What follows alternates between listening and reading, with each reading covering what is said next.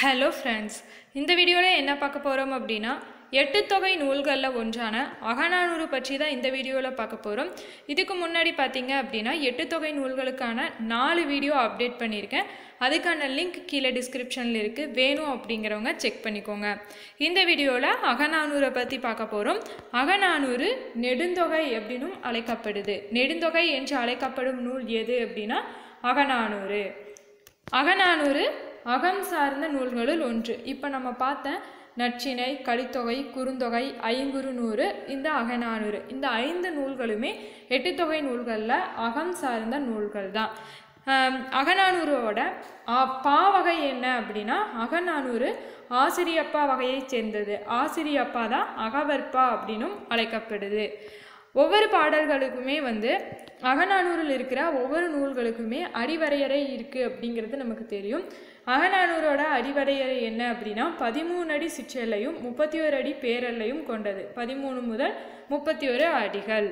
அகநானூரில் இருக்க பாடல்களோட எண்ணிக்கை நானூறு பாடல்கள் அகநானூரில் இருக்குது இந்த நானூறு பாடல்களை எத்தனை புலவர்கள் பாடியிருப்பாங்க அப்படின்னா நூற்றி நாற்பத்தி ஐந்து புலவர்கள் பாடியிருப்பாங்க. இது வந்து முக்கியம்.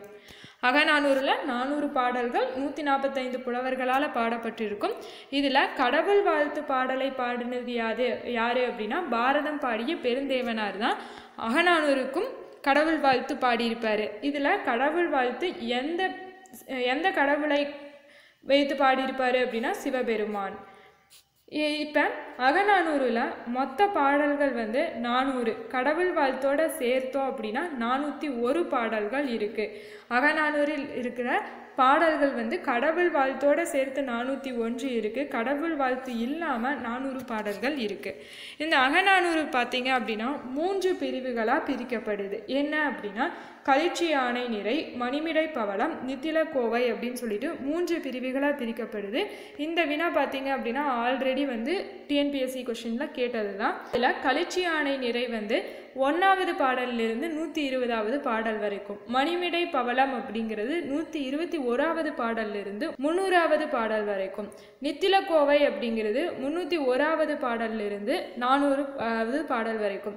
அப்போ களிச்சி யானை நிறையில் இருக்கிற பாடல்களின் எண்ணிக்கை அப்படின்னு சொல்லி கேட்பாங்க. நூற்றி இருபது பாடல்கள். மணிமிடை பவளம்ல இருக்கிற பாடல்களோட எண்ணிக்கை எவ்வளவு அப்படின்னா நூற்றி எண்பது பாடல்கள். நித்தில கோவையில் உள்ள பாடல்களோட எண்ணிக்கை நூறு பாடல்கள். இப்படியும் பார்த்து வச்சுக்கணும் முக்கியமானது. அகநானூறு நூலோட தொகுப்பு முறையில் பார்த்தீங்க அப்படின்னா ஒரு ஒழுங்குமுறை அப்படிங்கிறது காணப்படுது. அதாவது பாலைத்திணை பாடல்கள் எல்லாமே ஒன்று மூன்று ஐந்து ஏழு இந்த வரிசையில் வரும். ஒற்றைப்படையில் பாலைத்திணையோட பாடல்கள் எல்லாமே வரும். இப்படி அமைந்த பாடல்களோட எண்ணிக்கை இருநூறு பாடல்கள் இருக்குது அகநானூறில் குறிஞ்சி திணை பார்த்தீங்க அப்படின்னா இரண்டு எட்டு பன்னெண்டு பதினெட்டு பன்னெண்டு பதினெட்டு இருபத்தி ரெண்டு இருபத்தி எட்டு அப்படிங்கிற மாதிரி வரிசையில் வரும். இதில் மொத்தமாக எண்பது பாடல்கள் இருக்குது முல்லைத்திணையில் பார்த்தீங்க அப்படின்னா நாலு பதினாலு இருபத்தி நாலு முப்பத்தி நாலுன்னு சொல்லிட்டு நாலு நாளாக வரும். இதில் மொத்தமாக நாற்பது பாடல்கள் இருக்குது மருதத்திணை அப்படிங்கிறது ஆறு பதினாறு இருபத்தாறு முப்பத்தாறு நாற்பத்தாறுன்னு சொல்லிட்டு வரும். இதுலேயும் மொத்தமாக நாற்பது பாடல்கள் இருக்குது நெய்தல் திணை பார்த்தீங்க அப்படின்னா பத்து இருபது முப்பது நாற்பது ஐம்பதுன்னு சொல்லிட்டு வரும். இப்படி பார்த்தீங்க அப்படின்னாலும் நாற்பது பாடல்கள் அகநானூறில் இருக்குது இதையும் வந்து பொறுத்துகளை கேட்பாங்க. பாலை திணை அப்படிங்கிறது ஒற்றைப்படை எண்களில் வரும். ஒன்று மூன்று ஐந்து ஏழு ஒன்பது அப்படின்னு சொல்லி. குறிஞ்சி திணை அப்படிங்கிறது இரண்டு எட்டு பன்னெண்டு பதினெட்டு அப்படிங்கிற வரிசையில் வரும். முல்லை திணை அப்படிங்கிறது நாலு பதினாலு இருபத்தி நாலு முப்பத்தி நாலு நாலாவது வரிசையில் வரும். மருத திணை அப்படிங்கிறது ஆறு பதினாறு இருபத்தி ஆறு முப்பத்தி ஆறுன்னு சொல்லி வரும். நெய்தல் திணை அப்படிங்கிறது பத்து இருபது முப்பது அப்படிங்கிற வரிசையில் வரும். அடுத்தது பார்த்தீங்க அப்படின்னா அகநானூரில் நாட்டை ஆள்ற தலைவர்களை தேர்ந்தெடுக்கிறதுக்காக குடவோலை முறை பழக்கத்தில் இருந்ததை இந்த அரசியல் செய்தி வந்து அகநானூறு வழியாக தெரியுது. நாட்டை ஆள்ற தலைவர்களை தேர்ந்தெடுக்கிறதுக்காக குடவோலை முறை பழக்கத்தில் இருந்தது அப்படிங்கிற அரசியல் செய்தி வந்து அகநானூறு மூலமாக தெரிஞ்சுக்க முடியுது. அடுத்தது வரலாற்று செய்திகளை அதிகமாக கூறுற அகநூல் எது அப்படின்னா அகநானூறு. அகநானூறு வரலாற்று செய்திகளை அதிகமாக கூறுகிறது.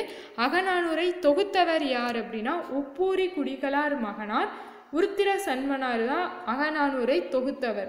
தொகுப்பித்தவர் யாரு அப்படின்னா பாண்டியன் உக்கிர பெருவழுதி அகநானூரை தொகுப்பித்திருப்பாரு. சொல்ல வந்த கருத்தை உள்ளுரை வழியாக உரைப்பது வந்து அகநானூறு பாடல்களோட சிறப்பு. இது வந்து புத்தகத்தில் இருக்குது சொல்ல வந்த கருத்தை உள்ளுரை வழியாக உரைப்பது வந்து அகநானூறு பாடல்களோட சிறப்பாக அமைந்திருக்கு. அடுத்தது பார்த்தீங்க அப்படின்னா பாடல் வைப்பு முறையில் பாடலோட எண்ணிற்கு ஏற்ப திணைகளோட வரிசை வைத்து தொகுக்கப்பட்டுள்ள நூல் அப்படின்னா அது வந்து அகநானூறு தான். இப்போ தான் பார்த்தோம் பாலை திணை அப்படின்னா ஒற்றைப்படையில் வரும் குறிஞ்சி திணை இரண்டு எட்டு. அதைத்தான் வந்து பாடல் வைப்பு முறையில் பாடல் எண்ணிற்கு ஏற்ப திணை வரிசையாக வைத்து தொகுக்கப்பட்ட நூல் அகநானூறு அப்படின்னு சொல்லி சொல்லப்படுது. இப்போ வந்து நம்மளோட பள்ளி புத்தகத்தில் கொடுத்துருக்கிற அகநானூறு பற்றிய மேற்கோள்கள் பார்க்கலாம். பொன்னொடு வந்து கரியோடு பெயரும் அப்படிங்கிற பாடல் வரி இடம்பெற்றுள்ள நூல் அகநானூறு. இரு ஆறாவதுல third term book third term புக்கில் இருக்கும். சிக்ஸ்த்து நூற்றி முப்பத்தி மூணாவது பக்கத்தில் இருக்கும். பொண்ணோடு அப்படின்னா வெளிநாட்டவர்கள் பார்த்தீங்க அப்படின்னா ஃபஸ்ட்டு வந்து பொண்ணை கொடுத்துட்டு கறி அப்படிங்கிறது இங்கே மிளகை குறிக்குது. சரிங்களா? பொண்ணை கொடுத்துட்டு மூட்டை மூட்டையாக மிளகை ஏற்றிட்டு போயிருப்பாங்க. இதுதான் வந்து இந்த பாடலோட வரி பொருள். இது வந்து அகநானூறு பாடலில் இருக்குது அடுத்த பாடல் பார்த்தீங்க அப்படின்னா ஏழாம் வகுப்பு எழுபத்தி ஒன்பதாவது பக்கத்தில் இந்த பாடல் வந்து கொடுத்துருப்பாங்க.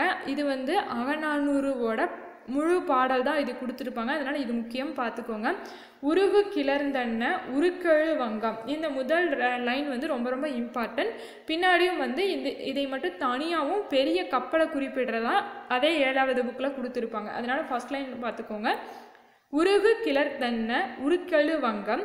புலவு திரை பெருங்கடல் நீர் இடை போல இரவும் எல்லையும் அசைவு இன்று ஆகி விரைசலல் இயற்கை வங்கூல் ஆட்ட கோடு உயர் திணிமணல் அகந்துரை நீகான் மட ஒல் எரி மருங்கு அறிந்து ஒய்ய.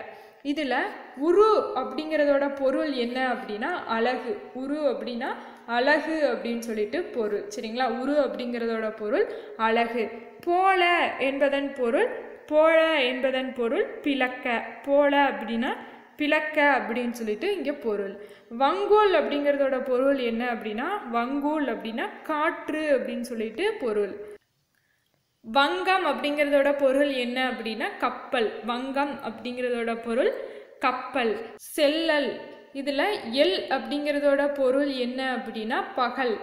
விரை செல்லல் அப்படின்னா பகல். இதில் எல் அப்படிங்கிறதோட பொருள் பகல்.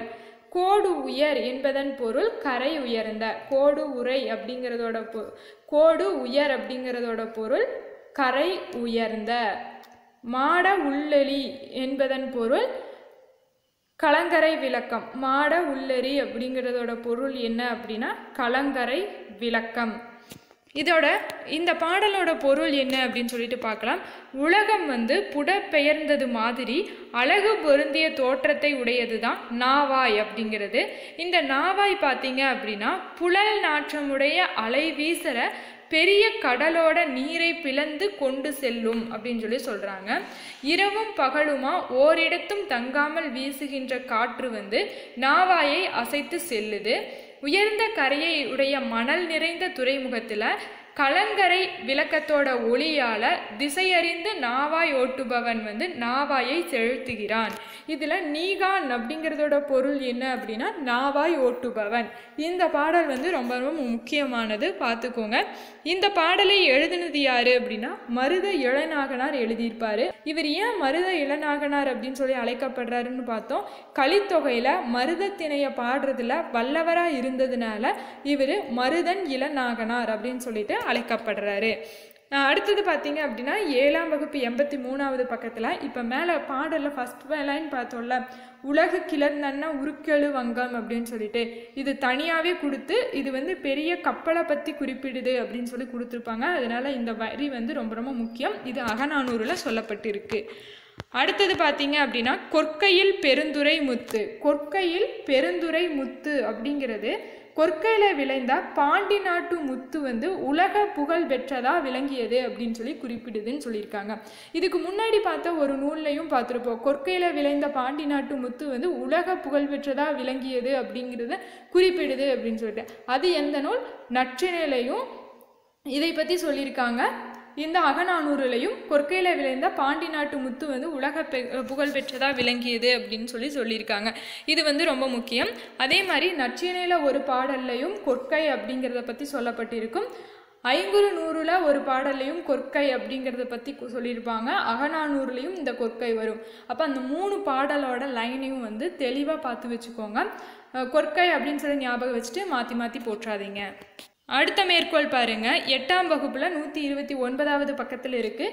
நெல்லும் உப்பும் நேரே ஊரீர் கொல்லீரோ வெனசேரி தொரும் நுவலும். இதோட பொருள் என்ன அப்படின்னா உப்பும் நெல்லும் ஒரே மதிப்புடையனவாக இருந்தன அப்படிங்கிறது இந்த அகநானூறு பாடல் மூலமாக தெரிஞ்சுக்க முடியுது. அந்த காலத்தில் உப்பும் நெல்லும் ஒரே மதிப்புடையனவாக இருந்தது அப்படிங்கிறத இந்த நெல்லும் ஒப்- உப்பும் நேரே ஊரீர் அப்படிங்கிற அகநானூறு பாடல் மூலமாக தெரிஞ்சுக்க முடியுது.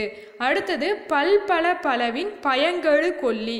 இது டென்த்தில் இருக்குது இது வந்து இந்த பாடல் வரி எதை பற்றி குறிப்பிடுது அப்படின்னா நாமக்கல் மாவட்டத்தில் இருக்கிற கொல்லிமலையை பற்றி குறிப்பிடுது. அப்போ நாமக்கல் மாவட்டத்தில் இருக்கிற கொல்லிமலையை பற்றி குறிப்பிடும் நூல் எது அப்படின்னு சொல்லி கேட்டால் அகநானூறு. அடுத்தது கரங்கு இசை விளவின் உரந்தை. இந்த பாடல் வரி இடம்பெற்றுள்ள நூலும் அகநானூறு தான். இந்த பாடல் வரி பார்த்தீங்க அப்படின்னா திருச்சி மாவட்டத்தில் இருக்கிற உறையூரை பற்றி சொல்லுது. உரந்தை அப்படிங்கிறது உறையூரை குறிப்பிடுது. இந்த உறையூர் திருச்சி மாவட்டத்தில் இருக்குது. இதையே அகநானூறு குறிப்பிடுது. அடுத்த லைன் பாருங்க. கடும்பகட்டு யானை நெடுந்தேர் கோதை திருமாவியல் நகர் கருவூர் முந்துரை இந்த பாடல் வரியும் அகநானூரில் தான் இடம்பெற்றிருக்கு இது வந்து கருவூர் மாவட்டத்தில் இருக்கிற கருவூரை பற்றி குறிப்பிடுது. கருவூர் அப்படின்னு சொல்லப்படுறது கரூர் மாவட்டத்தை தான். ஓகே. இந்த இதுவும் பார்த்தீங்க அப்படின்னா அகநானூறு தான் குறிப்பிடுது. அப்போ அகநானூறு வந்து நாமக்கல் மாவட்டத்தில் இருக்கிற கொல்லிமலையை பற்றியும் குறிப்பிடுது. திருச்சி மாவட்டத்தில் இருக்கிற உறையூரை பற்றியும் குறிப்பிடுது. கரூர் மாவட்டத்தில் இருக்கிற கருவூர் பற்றியும் அகநானூறு குறிப்பிடுது. அப்போ இதையெல்லாம் பார்த்துக்கோங்க. அடுத்த பாடல் வரி பாருங்க. இயல் புற்றத்து ஈர்ம்புறத்து இருத்த குறும்பி வல்சி பெருங்கை ஏற்றை தூங்குதோல் துதிய வலு வல்லுகிர் கதுவலின் பாம்பு மதன் அழியும் பானட் கங்குதல். இந்த பாடல் வரி இடம்பெற்றுள்ள நூல் எது அப்படின்னா இதுவும் அகநானூரில் தான் இடம்பெற்றிருக்கு. இந்த பாடலை பாடினது யாரு அப்படின்னா பெருங்குன்றூர் கிளார் வந்து இந்த பாடலை பாடியிருப்பாரு. இந்த பாடல் வரிகளோட பொருள் என்ன அப்படின்னா பாடல் வந்து தோழிக்கு சொல்ற மாதிரி தலைவி வந்து மறைந்து நிற்கிற தலைவனுக்கு சொல்றதா உள்ளுரை உவமை அமைந்த பாடல் தான் இந்த அகநானூற்று பாடல். இதை எழுதினது பெருங்குன்றூர் கிளார் அடுத்த பாடல் வரி பாருங்கள் பெருங்கடல் முகந்த இருங்கிளை கொன்மு இருண்டு உயர் விசும்பின் வளநேர் வளையிப். இந்த பாடல் வரி இடம்பெற்றுள்ள நூல் எது அப்படின்னா அகநானூறு தான். இந்த பாடல் வந்து பதினோராவது புத்தகத்தில் அகநானூறு அப்படிங்கிற தலைப்புக்கு கீழேயே கொடுத்துருப்பாங்க. இது வந்து பெரிய பாடலாக வரும். இதில் முதல் இரண்டு வரியும் கடைசி இரண்டு வரி மட்டும்தான் நான் கொடுத்துருக்கேன். கடைசி இரண்டு வரி என்ன அப்படின்னா குறமகள் காக்கும் ஏனல் புறமும் தருதியோ வாழிய மலையே. இந்த பாடல் வரியும் அகநானூரில் இடம்பெற்றிருக்கு. இதை எழுதுனது யார் அப்படின்னா வீரை வெளியன் தித்தனார் அப்படிங்கிறவர் குறிஞ்சி திணையில் இந்த பாடலை எழுதியிருப்பார் அகநானூரில். அடுத்த பாடல் பாருங்கள் அதே மாதிரி தான் ஃபஸ்ட்டு ரெண்டு லைனும் கடைசி ரெண்டு லைனும் கொடுத்துருக்க. இது வந்து அகநானூறு பாடலில் அமைந்திருக்கு. கபிலரால் எழுதப்பட்ட பாடல் தான் இது. முதல் இரண்டு இரண்டு முதல் இரண்டு லைன் பாருங்கள் கோளிலை வாழை கோல்முதிர் பெருங்குலை ஊடுரு தீங்கனி உண்ணுணர் தடுத்த கடைசி இரண்டு வரிகள் குறியா இன்பம் எளிதின் நின்மலை பல்வேறு விளங்கும் எய்தும் நாடா இந்த வரிகளும் அகநானூறில் இடம்பெற்றிருக்கு. இந்த வரிகளை இயற்றியவர் கபிலர். அடுத்த பாடல் வரி பாருங்க. வவ்வேல் கௌரியர் தொன்முது கோடி முழங்கி வரும் பவ்வம் இறங்கும் முஞ்சுரை வெல்போர் ராமன் அருமறை கவித்த பல்வேல் ஆலம் போல ஒளியவின் ஒளிய விந்தஞ்சி வழுங்கல் ஊரே. இந்த பாடல் வரி இடம்பெற்றிருக்கிறது. அகநானூறு. இது பனிரெண்டாம் வகுப்பு புத்தகத்தில் இருக்கும். இதோட பொருள் என்ன அப்படின்னா ப- படைப்பாளர்கள் வந்து தான் கூற விரும்புகிற கருத்துக்கள் எல்லாத்தையும் தொன்மம் மூலமாக வெளிப்படுத்தும் போது அது வந்து மிக விரைவாகவும் ஆழமாகவும் படிப்பவரால் புரிந்து கொள்ளப்படுகின்றது அப்படிங்கிறது தான் இந்த பாடல் வரிகளோட பொருள். அடுத்தது பார்த்தீங்க அப்படின்னா சங்க காலத்தில் பார்த்தீங்க அப்படின்னா பெண்கள் திருமணம் செஞ்சு முடித்ததுக்கு அப்புறமும் தன்னோட இல்லத்திலேயே தொடர்ந்து வாழ்க்கை நடத்தும் தாய முறை இருந்ததை பற்றி இந்த அகநானூறு நூல் குறிப்பிடுது. அதாவது திருமணத்துக்கு பின்னாடி மனைவியோட இல்லத்துக்கு கணவன் சென்று வாழ்வது தான் நடைமுறையாக இருந்துள்ளது அப்படிங்கிறது இந்த அகநானூறு பாடல் மூலமாக தெரிய வருது. அடுத்தது பார்த்தீங்க அப்படின்னா பெருங்கடல் வேட்டத்து சிறுகுடி பரதவர் இருங்கழி செருவின் உலா அது செய்த கைப்பூன் பகட்டின் வருத்தி வெய்ய உயர்க்கும் நோயா அகி நோயாகிற்றே. இந்த பாடல் வரிகளை எழுதினது அம்மூவனார். இதுவும் அகநானூறு அப்படிங்கிற பாடல் அப்படிங்கிற பாடத்தொகுப்பில் தான் வந்து கொடுத்துருப்பாங்க. இதுலேயும் முதல் இரண்டு வரிகளும் கடைசி இரண்டு வரிகளும் கொடுத்துருக்கேன் இந்த வரிகள் அகநானூறில் இடம்பெற்றிருக்கு. இதை எழுதின ஆசிரியர் அம்மோவனார். இந்த அம்மோவனார் பார்த்தீங்க அப்படின்னா அகப்பாடல் மட்டுமே பாடிய புலவர்களில் ஒருவர் தான் வந்து அம்மோவனார். அம்மோவனார் வந்து அகப்பாடல்களை மட்டும்தான் பாடியிருப்பார். நச்சினை குறுந்தொகை அகநானூறு ஐங்குறுநூறு இதுலேயும் வந்து இவரோட பாடல்கள் வந்து தொகுக்கப்பட்டிருக்கு. அடுத்த வரி பாருங்க. யானை தன் வாயினிறை கொண்ட வலித்தேம்பு தடக்கை குன்றுபுகு பாம்பின் தோன்றும். இந்த வரியும் வந்து அகநானூறு பாடலில் இடம்பெற்றிருக்கு. இது மெய்ப்படிமம் பற்றி குறிப்பிடுது. இது டுவெல்த் நூற்றி இருபத்தி மூணாவது பக்கத்தில் இருக்குது அடுத்த பாடல் வரி பார்த்தீங்க அப்படின்னா வெந்தாறு பொன்னின் அந்தி பூப்ப இந்த பாடல் வரி வந்து உருப்படிமம் உரு நிறப்படிமம் பற்றி குறிப்பிடுது. இதோட பொருள் என்ன அப்படின்னா உலைக்களத்தில் நன்றாக வெந்து பின்னாடி மெல்ல மெல்ல ஆறிக்கொண்டிருக்கும் பொன்னோட நிறம் மாதிரி அந்திமானம் விளங்கிய காட்சியை தான் அகநானூறு பாடலில் வெந்தாறு பொன்னின் அந்தி பூப்ப அப்படின்னு சொல்லி சொல்லப்பட்டிருக்கு. அடுத்து கடைசி பாயிண்ட் பாருங்க. சங்ககால பசும்பூன் பாண்டியன் தன் கொடியில் யானை சின்னத்தை கொண்டிருந்த செய்தி வந்து சங்ககால பசும்பூன் பாண்டியன் தன்னோட கொடியில் யானை சின்னத்தை கொண்டிருந்தான் அப்படிங்கிற செய்தி வந்து அகநானூறு பாடலில் மயிலை சீனி வேங்கடசாமி அப்படிங்கிறவர் குறிப்பிட்டிருக்காரு. சங்ககால பசும்பூன் பாண்டியன் தன் கொடியில் யானை சின்னத்தை கொண்டிருந்தான் அப்படிங்கிற செய்தி வந்து மயிலை சீனி வேங்கடசாமியின் மூலமாக அகநானூறு பாடலில் சொல்லப்பட்டிருக்கு. ஓகே இதோட பார்த்தீங்க அப்படின்னா அகநானூறு பற்றிய தகவல்களும் அகநானூறில் இடம்பெற்றிருக்க மேற்கோள்கள் பற்றியும் தெளிவாக பார்த்தாச்சு. அடுத்த வீடியோவில் புறநானூரை பற்றி பார்க்கலாம். தேங்க்யூ